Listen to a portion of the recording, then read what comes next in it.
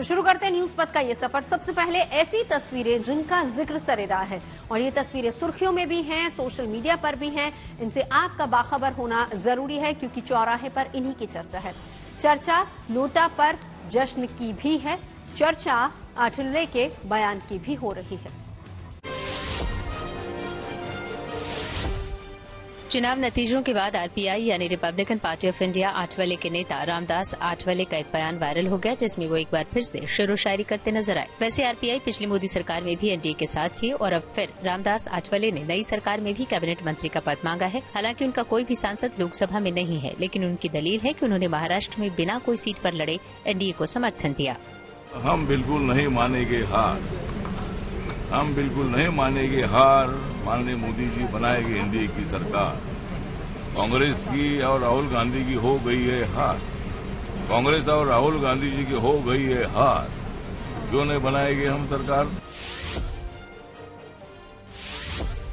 मध्य प्रदेश की इंदौर लोकसभा सीट पर दूसरे नंबर पर नोटा रहने को लेकर केक काटा गया। इसका आयोजन इंदौर के कांग्रेस नेताओं ने किया था। वहाँ नोटा को रिकॉर्ड दो लाख अठारह हज़ार ऐसी ज़्यादा वोट मिले। वैसे इसी सीट पर बीजेपी के शंकर लालवाणी को बारह लाख छब्बीस हज़ार सात सौ इक्यावन वोट पड़े। ऐसे में उन्हें भी रिकॉर्ड दस लाख आठ हज़ार सतहत्तर वोटों ऐसी जीत मिली। पिछले दिनों चुनाव के दौरान इंदौर में कांग्रेस उम्मीदवार अक्षय कांति बम ने अपना नामांकन वापस ले लिया था।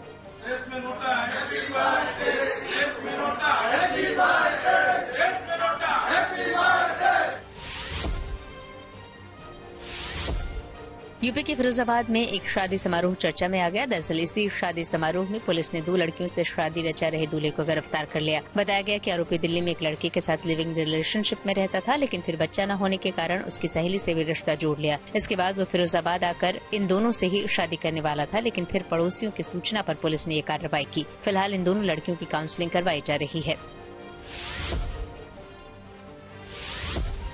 रूस की एक सोशल मीडिया इन्फ्लुएंसर का वीडियो सोशल मीडिया पर वायरल हो गया, जिसमें वो भारतीय दूल्हा ढूंढती नज़र आई इसमें दिख रहा है कि ये महिला लाल रंग की साड़ी में मॉल के सामने खड़ी है। इसके साथ ही महिला ने अपने हाथों में एक तख्ती पकड़ रखी है। इस तख्ती पर लिखा है कि उन्हें भारतीय पति की तलाश है। इस पोस्ट को लेकर कई तरह के कमेंट आ रहे हैं।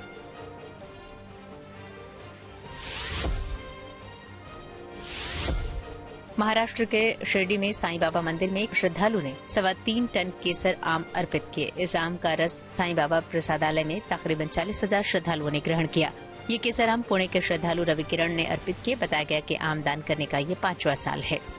साईं बाबा के दर्शन किए बहुत अच्छा लगा और हम भोजनालय आए थे प्रसाद ग्रहण करने के लिए और आज हमें पहली बार आमरस का मज़ा मिला यहाँ पे। साईं बाबा का दर्शन करने के लिए आए हैं और यहाँ पे हमको एकदम अमृत भोजन मिला है। ज़िंदगी का सफ़र सुहाना हो, इसके लिए सावधान रहना ज़रूरी है। रोज़मर्रा की आपाधापी में कुछ देर बैठकर सोचना, समझना ज़रूरी है कि आपके आसपास क्या हो रहा है।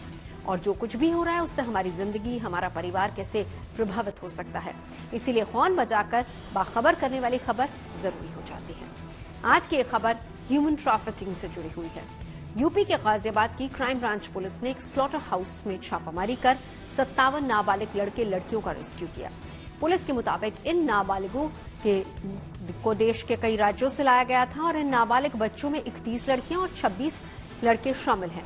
राष्ट्रीय बाल अधिकार संरक्षण आयोग और क्राइम ब्रांच के साथ ही स्थानीय पुलिस ने मिलकर इनका रेस्क्यू किया है और कंपनी मालिक समेत पाँच लोगों को गिरफ़्तार कर लिया है।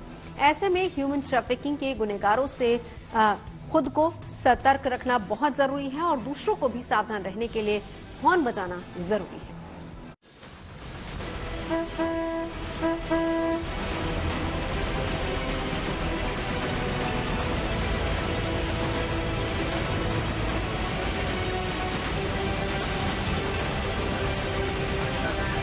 ये तस्वीरें हैं गाजियाबाद के international agro food slaughter house की, जहाँ नाबालिग बच्चों से जबरन मजदूरी कराई जाती थी।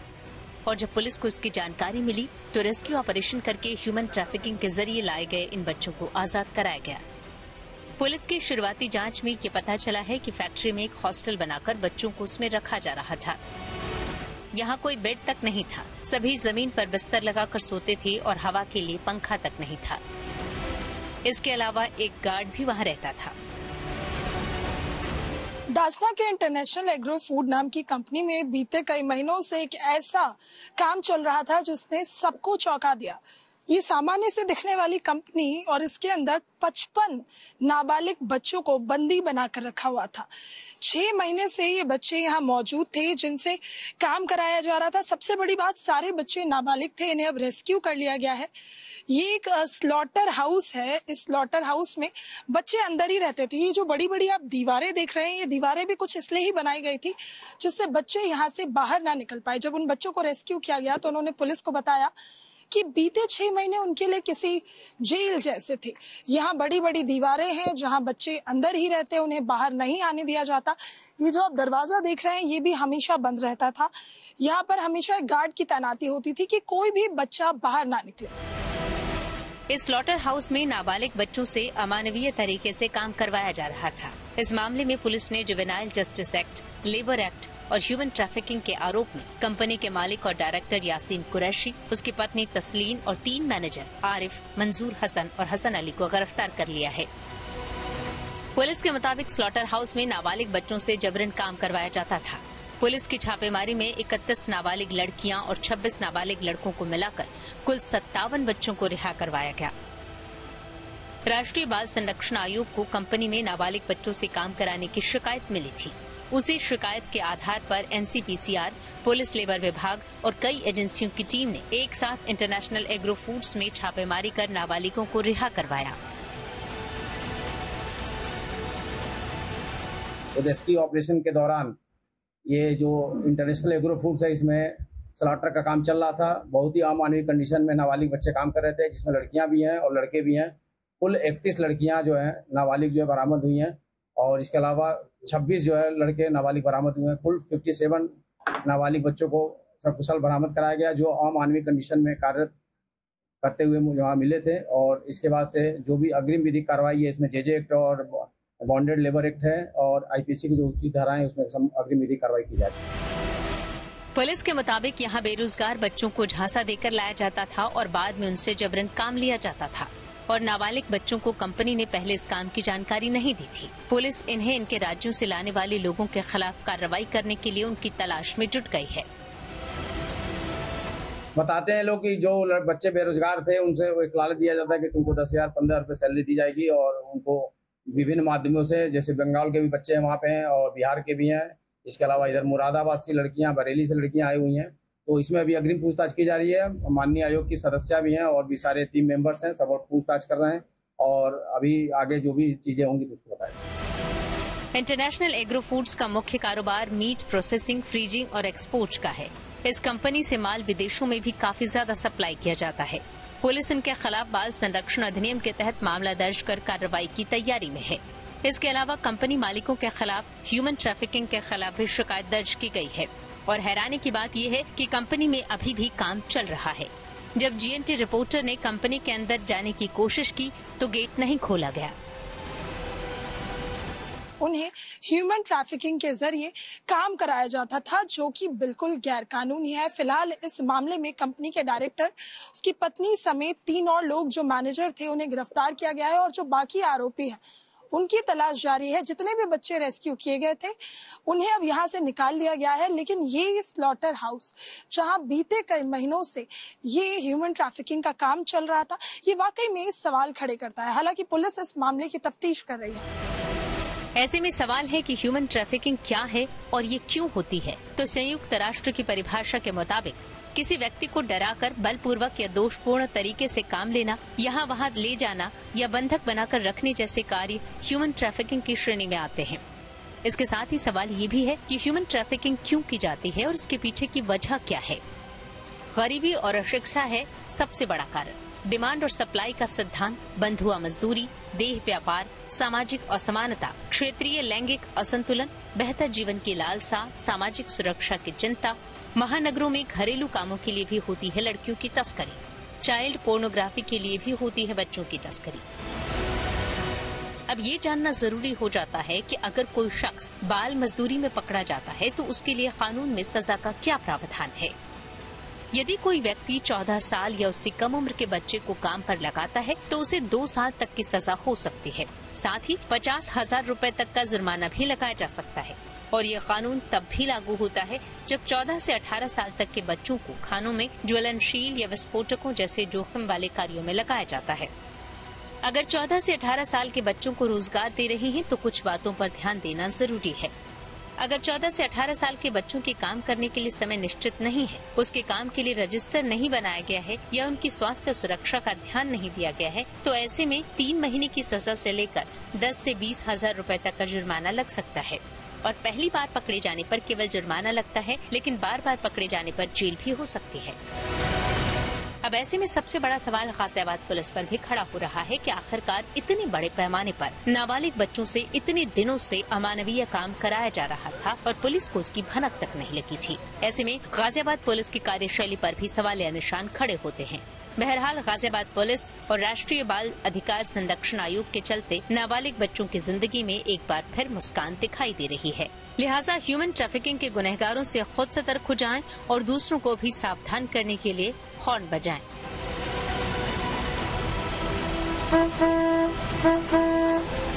गाजियाबाद से Neetu Jha, good news today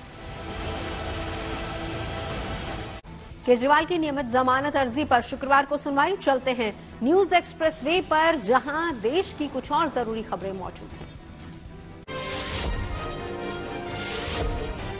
Delhi में जल संकट से जूझ रहे लोगों को सुप्रीम कोर्ट से गुड न्यूज़ मिली। दरअसल हिमाचल प्रदेश अब दिल्ली को एक क्यूसेक पानी छोड़ेगा। अदालत ने इसको लेकर निर्देश दिए। ये सिलसिला पूरे महीने जारी रहेगा और हरियाणा उसमें कोई रोड़ा नहीं अटकाएगा। सुप्रीम कोर्ट ने बताया कि 5 जून को हुई मीटिंग में हिमाचल प्रदेश ने कहा कि जो अतिरिक्त पानी है वो उसे दिल्ली के साथ साझा करना चाहता है। लोकसभा चुनाव के नतीजों के बाद समाजवादी पार्टी के नेता डिम्पल यादव मथुरा पहुँची, जहाँ उन्होंने बाकी बिहारी मंदिर में दर्शन किए। इस दौरान उनकी बेटी जीना भी मौजूद रही। दोनों ने मंदिर में पूजा अर्चना की। देश में भीषण गर्मी के बीच एक राहत भरी खबर आई। दरअसल दिल्ली एनसीआर में अब हीट वेव नहीं चलेंगी। मौसम विभाग ने यह अनुमान जताया। हालाँकि इस दौरान तापमान नहीं गिरेगा, लेकिन लू से राहत रहेगी। 30 जून तक उत्तर भारत में मानसून की एंट्री होगी। उधर मुंबई में तीन ऐसी चार दिनों में मानसून पहुँच सकता है। मौसम विभाग के मुताबिक ये भी कर्नाटक में है और जल्द ही महाराष्ट्र, तेलंगाना और आंध्र प्रदेश में एंट्री कर जाएगा। दिल्ली के सीएम अरविंद केजरीवाल के नियमित जमानत अर्जी पर शुक्रवार को सुनवाई होगी। वैसे ये सुनवाई उसी कोर्ट में होनी है, जहाँ से उनकी अंतरिम जमानत की अर्जी खारिज हुई थी। अदालत ने केजरीवाल की अंतरिम जमानत याचिका खारिज करते हुए कहा था कि टाइप टू मधुमेह को इतनी गंभीर बीमारी नहीं कहा जा सकता। इसके आधार पर अरविंद केजरीवाल को अंतरिम जमानत नहीं दी जा सकती। समाजवादी पार्टी के नेता अखिलेश यादव ने चुनावों में जीत के बाद एक तस्वीर शेयर की। इसमें वो अपनी हवाई यात्रा के दौरान कुछ एयर होस्टेस के साथ नज़र आए। चुनाव नतीजों से उत्साहित अखिलेश ने अपनी पोस्ट के साथ कविता की कुछ लाइनें भी लिखी। अखिलेश ने लिखा, अपनी है कोशिश, यही ज़मीन हो या आसमान, सब जगह हो मुस्कान। खबरों के एक्सप्रेस वे से अब आगे रुक करते हैं सियासी ढाबे का, जहाँ आज की सबसे दिलचस्प खबर मौजूद है। दस साल बाद एक बार फिर से गठबंधन वाली सरकार दौर में लौट आई है। केंद्र में बनने वाली मोदी सरकार में सहयोगी दलों की भूमिका असरदार हो गई है। नीतीश कुमार, चंद्रबाबू नायडू इस चुनाव में किंग मेकर बनकर उभरे हैं। ऐसे में एक बार फिर से एनडीए सरकार के गठन को लेकर बैठकों का दौर शुरू हो चुका है। वहीं इंडिया गठबंधन के हौसले भी बुलंद हैं। हालाँकि वो बहुमत के जादुई आंकड़े को छू नहीं पाया है, लेकिन अच्छे प्रदर्शन की वजह से विपक्षी खेमे में खुशी की लहर है और संसद में सरकार को घेरने के लिए इंडिया गठबंधन मंथन में जुटा हुआ है।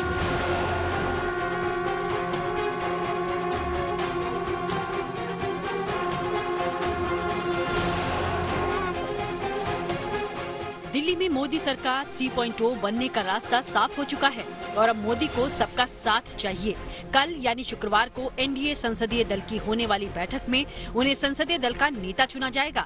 इसके बाद राष्ट्रपति द्रौपदी मुर्मू के सामने सरकार बनाने का दावा पेश होगा।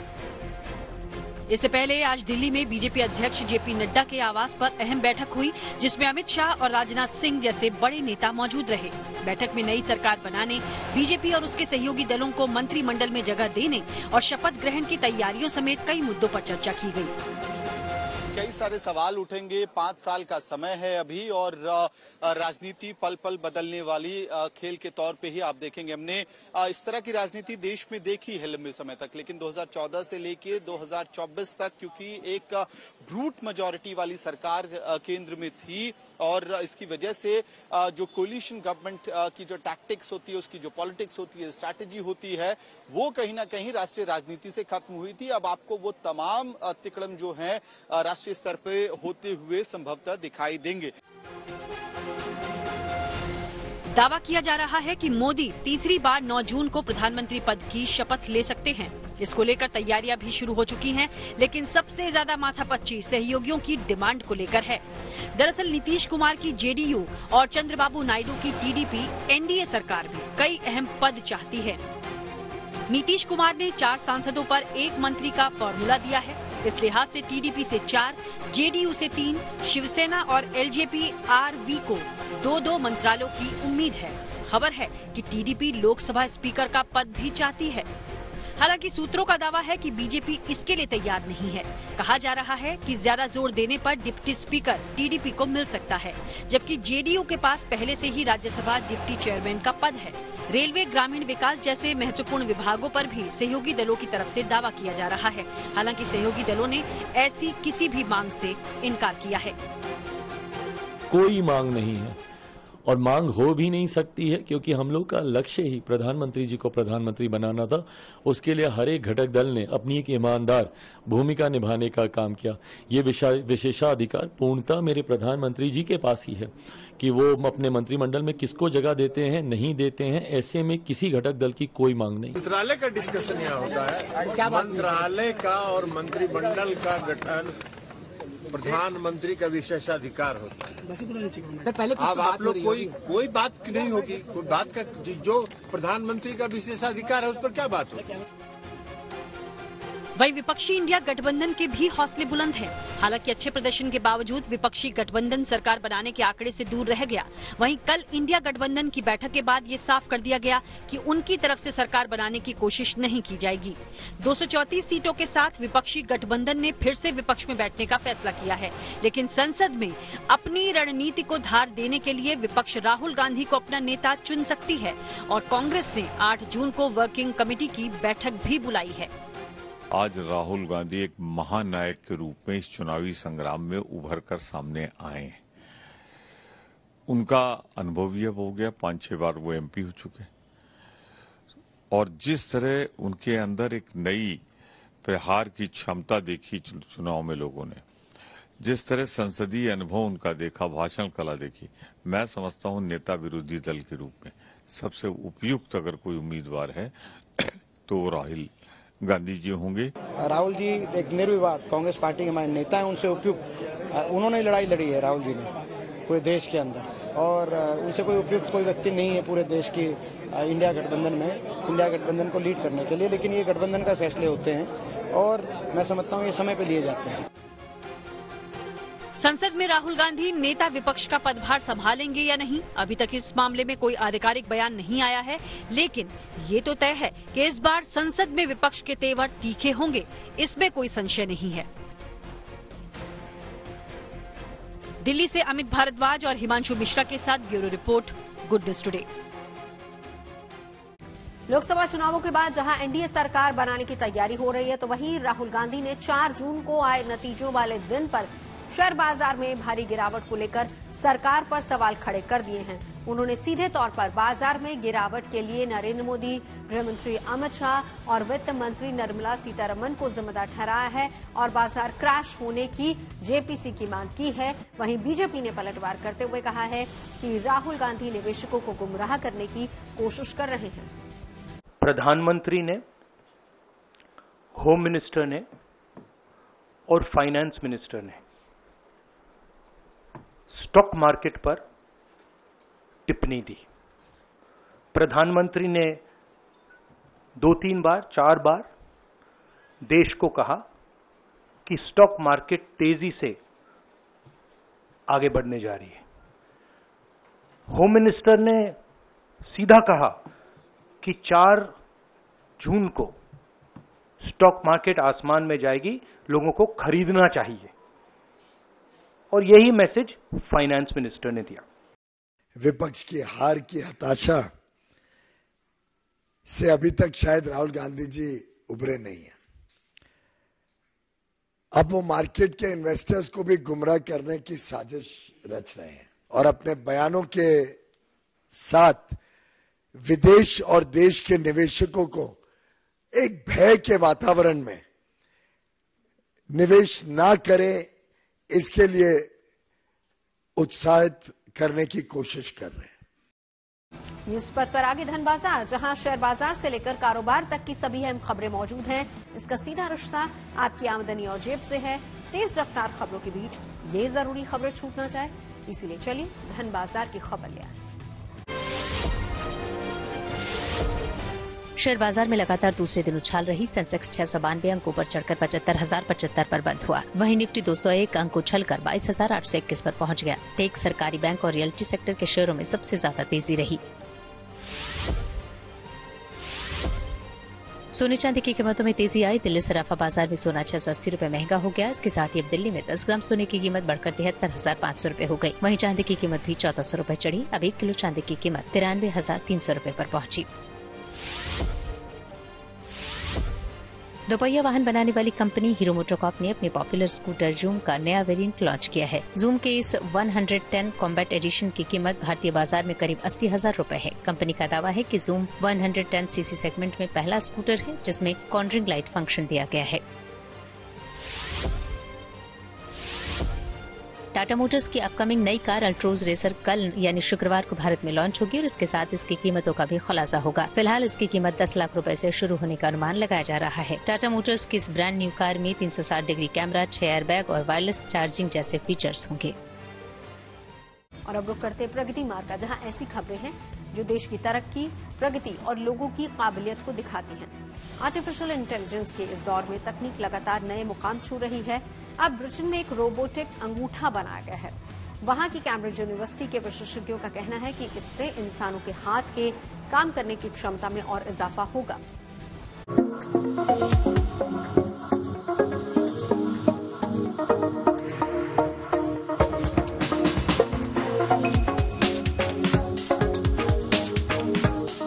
ये एक नया आविष्कार है। तस्वीरों में आपको दिख रही ये छठी उंगली असल में विज्ञान का कमाल है।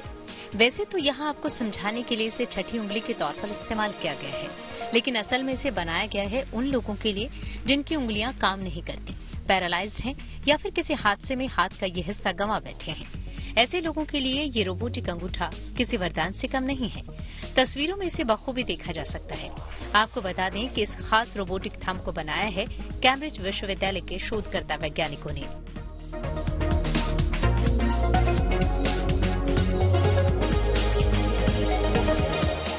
is the third thumb. Um, so it's a flexible uh, thumb that's controlled with two motors on that's worn on the wrist. Um, on my left foot is doing this movement, so it's pulling up and back, and it's proportional, so I can go fast or slow. And then my right toe is doing uh, this, pulling across. खास बात यह है कि इस robotic third thumb को आप अपने पैरों से कंट्रोल कर सकते हैं इससे आप बोतल को हाथ में पकड़ सकते हैं, ताश के पत्ते गिन सकते हैं, गिटार बजा सकते हैं, यहाँ तक कि इसकी मदद से सुई में धागा भी डाल सकते हैं। मतलब ये कि ये रोबोटिक अंगूठा आगे पीछे, ऊपर नीचे मूव कर सकता है। बिल्कुल आपकी उंगलियों की तरह। इसे बनाने वाले वैज्ञानिक इसे परख भी चुके हैं। पाँच सौ छियानवे लोगों पर इसका ट्रायल किया गया। ये देखने के लिए कि लोग आसानी से इसका इस्तेमाल कर सकेंगे या नहीं। लोगों को इसे इस्तेमाल करने में क्या दिक्कतें आती हैं? How good are people initially picking up that initial motor skill. Um, so in the first few moments of usage, can they really use the third thumb? We tell them how to control it, we quickly explain how to do a task, and then we said, off you go, do it.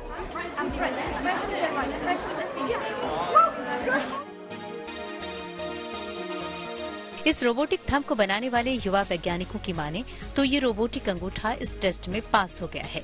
सिर्फ़ चार लोग ऐसे निकले जो इसका इस्तेमाल आसानी से नहीं कर पाए। हालाँकि अभी तो इस नई तकनीक का ट्रायल हुआ है। उम्मीद की जानी चाहिए कि इस तकनीक से और भी नए आविष्कार होंगे। Bureau report, good news today. News पथ के सफ़र में अब सोशल अड्डा का रुख कर लेते हैं, जहाँ पर आज की बात होगी दुनिया की टॉप यूनिवर्सिटीज की जिनकी इस साल की रैंकिंग जारी हो गई है। इसमें भारत के कौन से संस्थान शामिल हैं, आपको हम विस्तार से बताते हैं। दुनिया भर के संस्थानों के लिए बुधवार 5 जून को क्यूएस वर्ल्ड यूनिवर्सिटीज रैंकिंग 2025 जारी की गई। दुनिया की टॉप 150 यूनिवर्सिटीज में भारत के दो प्रतिष्ठित संस्थानों ने अपनी जगह बनाई है। इनमें आईआईटी बॉम्बे और आईआईटी दिल्ली शामिल है। आईआईटी बॉम्बे ने पिछले साल एक स्थान से 31 पायदान की छलांग लगाकर इस साल 118वां नंबर हासिल किया है। वहीं आईआईटी दिल्ली ने अभी अपनी रैंकिंग में सुधार करते हुए लिस्ट में 150वां स्थान पाया है। लंदन से जारी होने वाली इस साल की क्यूएस वर्ल्ड यूनिवर्सिटी रैंकिंग में अमेरिका की एमआईटी लगातार तेरहवें स्थान पर बनी हुई है। अपने ग्रेजुएट्स को जॉब दिलाने और रोज़गार परिणामों के लिहाज से दिल्ली यूनिवर्सिटी को दुनिया में चौवालीसवां स्थान हासिल है और दुनिया की टॉप 150 रैंकिंग में भारत के दो संस्थानों को जगह मिली है, जबकि दुनिया की टॉप 400 यूनिवर्सिटीज में भारत की 46 यूनिवर्सिटीज शामिल हैं। दुनिया की टॉप 400 यूनिवर्सिटीज में दिल्ली यूनिवर्सिटी की 328वीं रैंकिंग है। वहीं अन्ना यूनिवर्सिटी की पहली बार इस लिस्ट में तीन रैंक हासिल हुआ है। यूएस वर्ल्ड यूनिवर्सिटी रैंकिंग वाले संस्थानों में भारत दुनिया भर में सातवें नंबर पर है, जबकि एशिया में इसका स्थान तीसरा है। एशिया में पहले नंबर पर चीन की इकहत्तर यूनिवर्सिटीज और दूसरे नंबर पर जापान की उनचास यूनिवर्सिटीज शामिल हैं। इस साल की क्यूएस वर्ल्ड यूनिवर्सिटी रैंकिंग को लेकर हमने मुंबई और दिल्ली में कुछ लोगों से बातचीत की, उनकी राय जाननी चाहिए। ये बहुत खुशी की बात है कि बॉम्बे आईआईटी जो है 150 के अंदर आ गई है। ये अपने आप में बहुत बड़ी बात है और ये गर्व होना चाहिए हमें।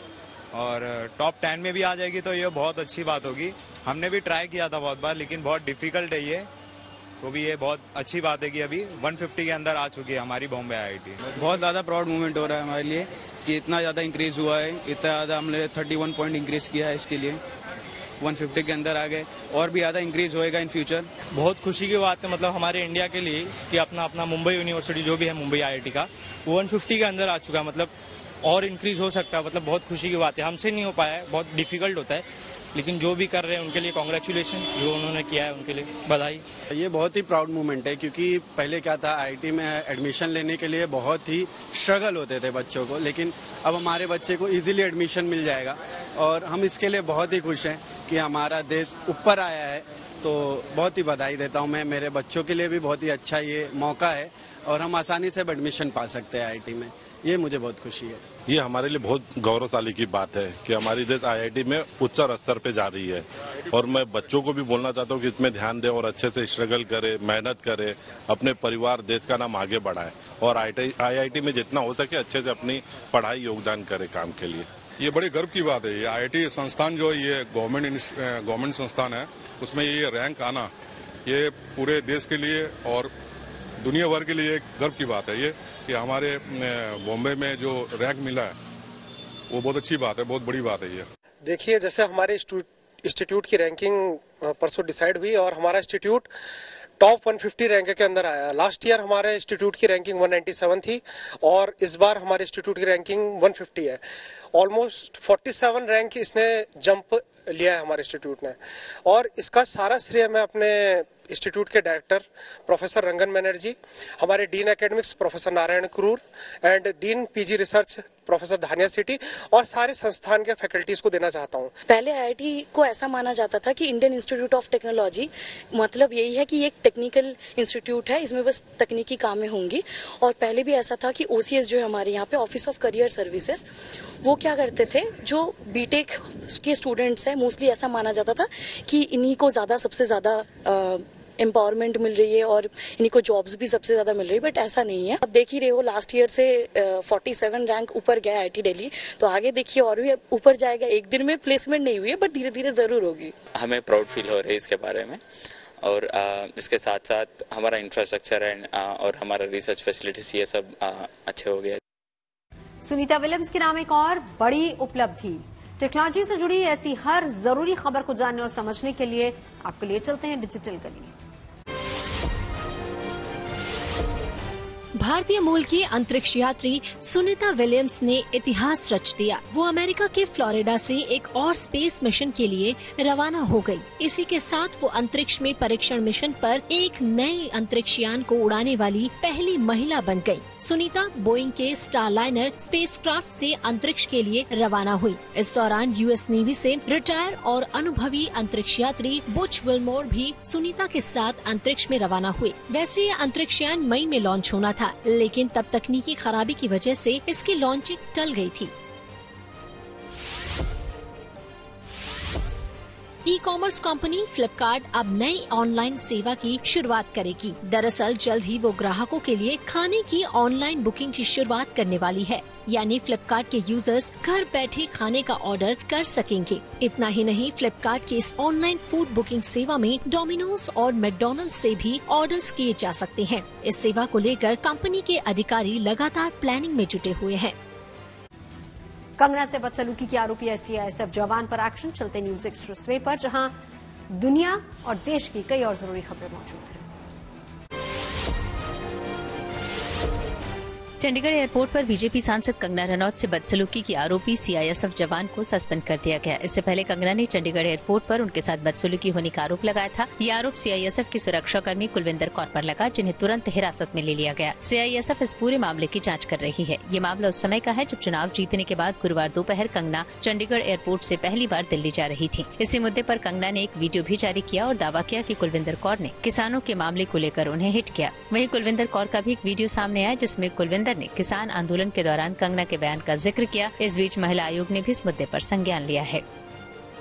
वहाँ पे मैं सिक्योरिटी चेक करके जैसे ही निकली तो दूसरे कैबिन में जो महिला थी, जो सुरक्षा कर्मचारी थी सीआईएसएफ की, उन्होंने मेरे, उनके पास या उनको क्रॉस करने का इंतज़ार किया और साइड से आकर जो है मुझे मेरे फेस पे हिट किया और गालियाँ देने लगी। और जब मैंने उनको पूछा कि उन्होंने ऐसा क्यों किया तो उन्होंने कहा कि वो फार्मर्स प्रोटेस्ट को जो है, वो सपोर्ट करती हैं। था ना कि सौ सौ रुपए के लिए बैठी है में ये ना हमें मेरी माँ बैठी थी उस टाइम जब इसने बयान दिया था। मुख्य चुनाव आयुक्त राजीव कुमार समेत तीनों चुनाव आयुक्त ने राष्ट्रपति द्रौपदी मुर्मू से मुलाकात की। इस दौरान सीईसी ने उन्हें चुनाव संपन्न होने की आधिकारिक जानकारी दी। इसी के साथ लोकसभा चुनाव की वजह से देश में लागू आदर्श चुनाव आचार संहिता भी समाप्त हो गई। चुनाव आयोग ने इसको लेकर आदेश जारी कर दिया। वैसे मुख्य चुनाव आयुक्त ने जल्द ही जम्मू कश्मीर में विधानसभा चुनाव करवाए जाने की भी बात कही है। और न्यूज़ पथ में मेरे यानी नवजोत रंधावा के साथ अभी के लिए बस इतना ही। देश और दुनिया की तमाम अच्छी खबरों के लिए आप देखते रहिए गुड न्यूज़ टुडे।